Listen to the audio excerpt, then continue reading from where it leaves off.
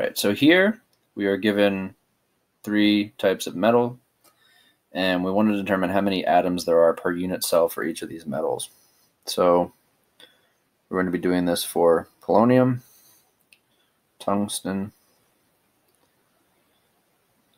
and nickel. Now to do this problem, you really only need to understand the type of lattice formed by each of these metals in order to determine how many atoms they have per unit cell.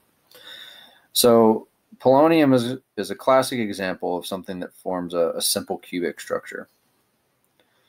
And because it forms a simple cubic structure, if we think about the number of atoms per cell, it's going to be 1.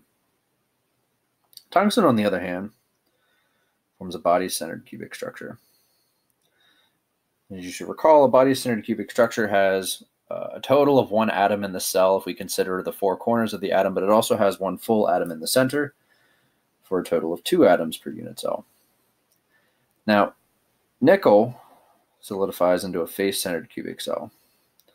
A face-centered cubic cell has those one atom attributed to the eight atoms on the corners, as well as an atom in each of the faces of the cube, and half of those atoms are contained inside the cube, which means that in total, we're going to have four atoms per unit cell for nickel.